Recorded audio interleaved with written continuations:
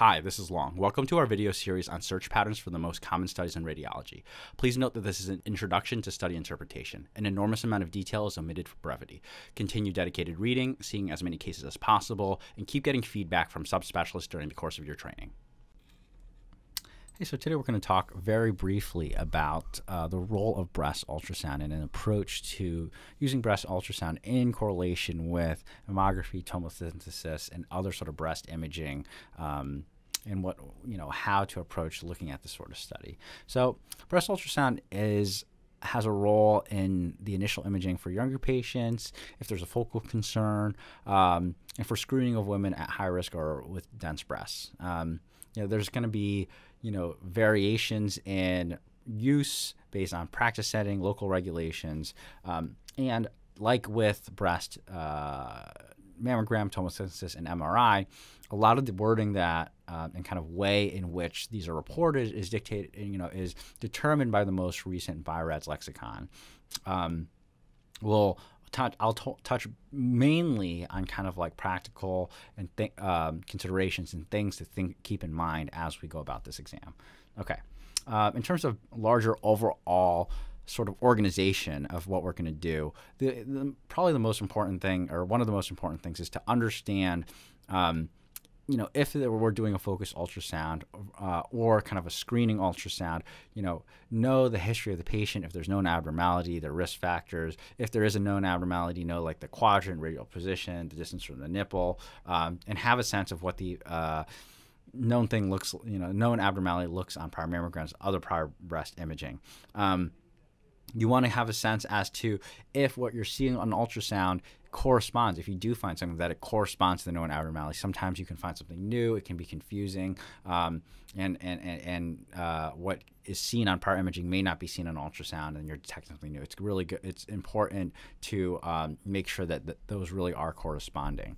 Um, if you're doing an ultrasound as a standalone exam, such as you know um, screening in certain populations for uh, a focal abnormality, you want to be um, particularly good about making sure you understand that whole patient history and prior studies, which um, you know, if, if it's not being done concurrent with, you know, a mammogram for which you're already going through that full process. Um, so let's go through and kind of take a look at what some of these images look like. Um, for a screening whole breast ultrasound. So this is uh, ultrasound of the bilateral breast. And as you can see here, uh, our institution, what we do um, is that in terms of just for documentation, we get each quadrant of the breast, the retroareolar region, and the axilla. Um, in real-time scanning, um, you know, we, we have sonographers um, who will help key us into abnormality. But for real-time scanning, um, you can go through the breast in a concentric radial or uh, and then anti-radial uh, sort of pattern, or do it, you know um, you know, back and forth in a sagittal transverse scanning pattern. So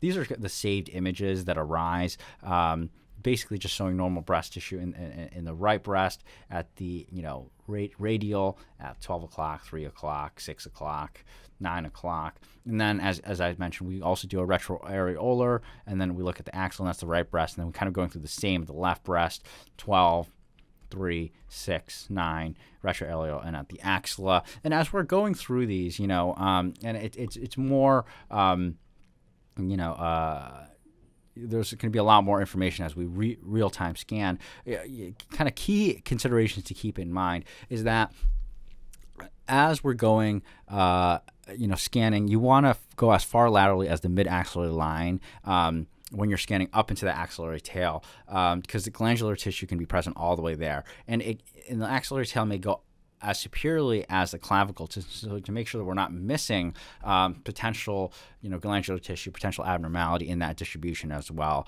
Um, as we look through, and in here we only have the still images, but just um, to kind of give you, you know, a sense. The retroareolar region can be very easy to kind of pass by quickly and to um, miss intraductal abnormalities, uh, to miss subtle abnormality from shadowing. Uh, so it's, it's important to make sure that we are kind of looking at these various angles and be sensitive to um, subtle abnormality in this region.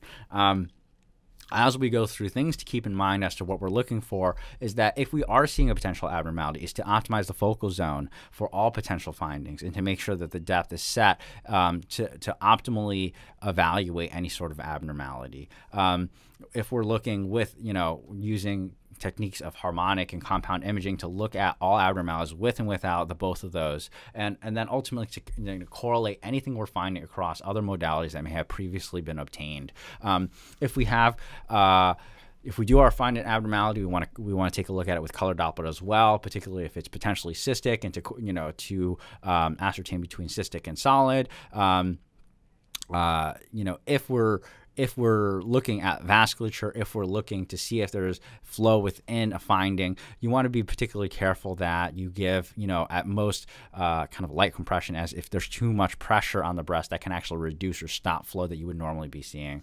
Um, describing any sort of abnormality should be done within the context of, you know, the most recent BI-RADS lexicon. You know, for masses, for example, you want to think about shape, orientation, margin, echo pattern, posterior features. You know, if there's any echogenic material, you know findings uh, that you're describing as calcification, and then you know, uh, and then thinking about potential associated features of architectural distortion or involvement of duct skin, you know, uh, uh, edema of the breast, vascularity, things like this. Um, and so basically, uh, you know, just as a quick recap, if we you know, ultrasound of the breast is done in very particular circumstances for focal abnormalities, for screening in certain populations, whether young or high risk. Um, and, and when it's done in correlation, um, you know, simultaneous with uh, mammography, it's important to kind of make sure that any potential abnormality that we want to look at with both um, modalities is really this, you know, we're really looking at the same thing um, across these different exams big picture sort of approach, you know, understanding the patient, what's been seen on prior imaging, um, you know, what you know focal symptoms focal abnormality we're evaluating and then as to go through and then for screening things looking through the various quadrants the axillary tail making sure that we're capturing the fullness of um, where that glandular tissue could be as well as in the axilla and being you know careful to modify you know um,